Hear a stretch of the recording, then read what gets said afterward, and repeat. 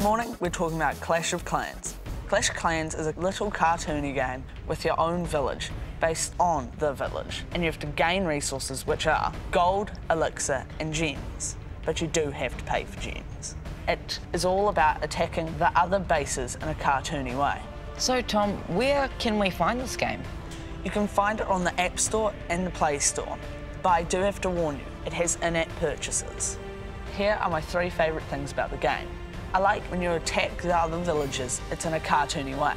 And I also like how there's no hackers since Supercell made it foolproof. So, Tom, this all sounds really cool, but what are some things that you don't like about this game? There's only really one, because it takes forever to upgrade everything. It takes up to one minute to three days. That is a long time. I know.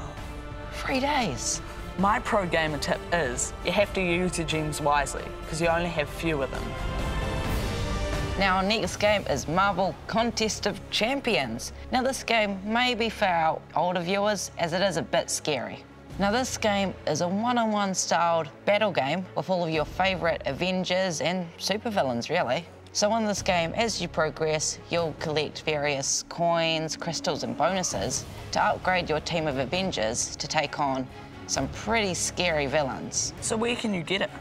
You can get this game on all app stores for free, but there are some in-app purchases available, so if you're going to get those, be sure to ask a parent first. Now my favourite things about this game is, firstly, the gameplay. A gameplay is important in any real game, really, and in this game, it is awesome.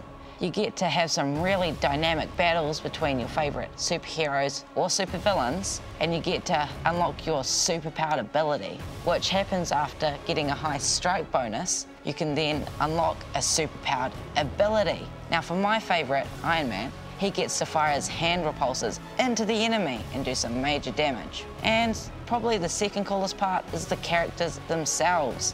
Now, I think characters are important in any real game like this, and these ones are great. You get to see your cool Avengers like Iron Man, Hawkeye and Thor and Captain America, and some cooler, lesser known characters like The Vision or Black Panther.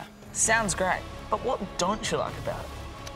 Probably my main issue with this game is the fact that it requires an internet connection whenever you want to play it. So if you want a game where you can play whenever and wherever you want to do it, this might not be the game for you. My pro gamer tip for this game is to, as soon as the game starts, just go straight in and try and attack quickly so you can unlock your superpowered ability. And once that's unlocked, wait for the enemy to have their guard down so that you can use its full damage. Game on!